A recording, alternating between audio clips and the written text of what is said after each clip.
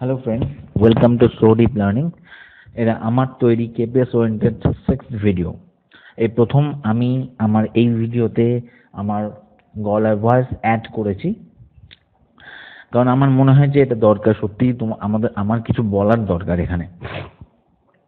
আমি যেটা করেছি, আমি গত কয়েকদিন ধরে আমার প্রচুর বন্ধু বান্ধবদের সঙ্গে এই কেপিএস ইন্টারভিউ নিয়ে কথা বলেছি। তাদের এক্সপিরিয়েন্স জিজ্ঞাসা করছি, তাদের এক্সপিরিয়েন্স নিজের মনের মধ্যে রেখেছি যাতে তা থেকে তোমাদের কিছু লাভ হতে পারে। এবং আমি এমন কিছু টপিক ডেফিনেট কিছু টপিক তুলে আনতে পেরেছি যেটা সত্যি বেশ কাজে লাগবে তোমাদের।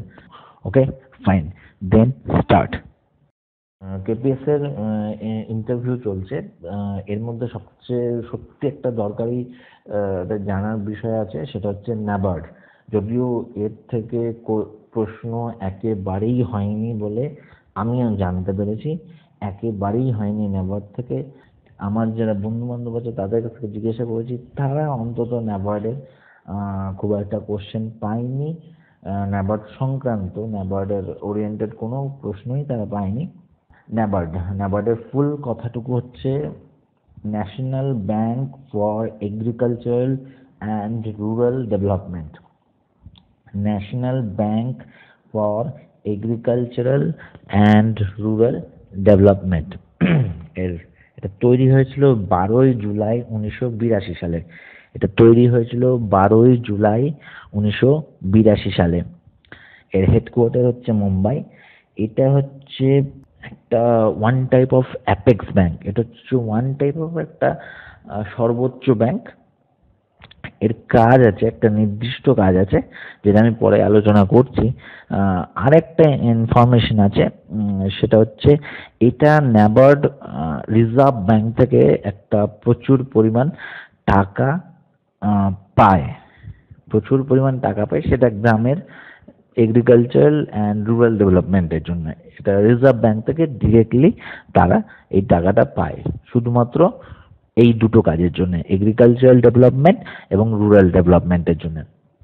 এরা যে কৃষিক্ষেত্রে যে বিভিন্ন ধরনের ঋণ আছে, সেটা বীজ কেনার জন্য হতে পারে, সেটা সার কেনার জন্য হতে পারে, কিন্তু বিভিন্ন ধরনের যে কৃষিক্ষেত্রে ঋণগুলো আছে, সেগুলোর জন্য তারা একটা নর্মাল ইন্টারেস্ট রেটে চাষিদের ঋণ প্রদান করে একটা ব্যাংক একটা অ্যাপেক্স ব্যাংক একটা শীর্ষ ব্যাংক যেটা কৃষি কৃষি ঋণ দিয়ে থাকে চাষিদের।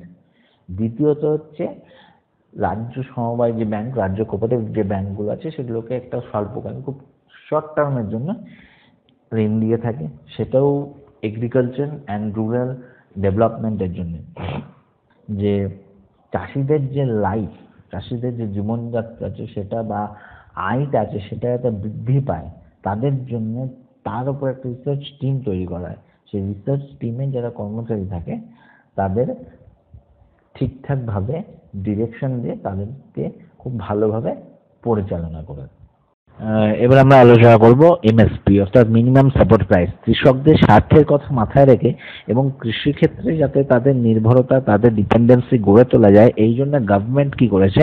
চব্বিশটা মেন ক্রপস আছে, চব্বিশটা মেন ক্রপসের ক্ষেত্রে এমএসপি ঘোষণা করে। এর প্রধান উদ্দেশ্য হচ্ছে যখন কোনো একটা ফসলের কোনো বছরে কোনো একটা ফসলের উৎপাদনটা বৃদ্ধি পায় তখন কৃষি পণ্যের দামটা, তার ফসলের দামটা হঠাৎ করে অনেকটা নেমে যায়। ফলে তারা যে ঋণ নিয়েছিল বা ঋণ, যে পরিমাণ ঋণ নিয়েছিল, সেইটা তারা শোধ করার পরে তারা ক্ষতির সম্মুখীন হয়ে যায়। ফলে সেই, সেটার হাত থেকে বাঁচার জন্যে সরকার এই এমএসপি ঘোষণা করে।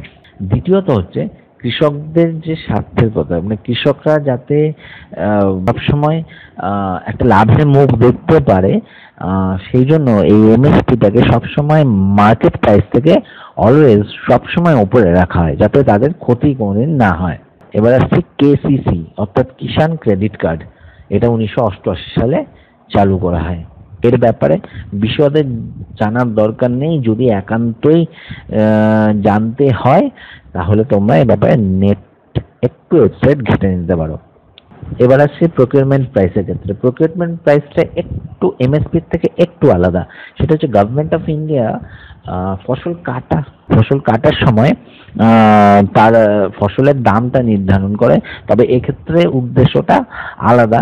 এক্ষেত্রে পিডিএস অর্থাৎ পাবলিক ডিস্ট্রিবিউশন সিস্টেম অর্থাৎ রেশন ব্যবস্থাটাকে মেনটেন করার জন্য যাতে নিজেদের বাফার স্টকটা ঠিকঠাক থাকে। তাদের, যাতে নিজেদের বাফার স্টকে সমস্ত রকম দানা শস্য বা সমস্ত রকম খাদ্য ঠিকঠাক পরিমাণে থাকে, তাতে সেই বাফার স্টকটাকে মেনটেন করতে পারে। এই জন্যেই প্রকিউরমেন্ট প্রাইসটা ঘোষণা করে। প্রকিউরমেন্ট প্রাইসের মাত্রা সবসময় এমএসপি অর্থাৎ মিনিমাম সাপোর্ট প্রাইস এবং মার্কেট প্রাইস থেকে ওপরে থাকে যা কৃষকদের জন্য সুবিধাজনক।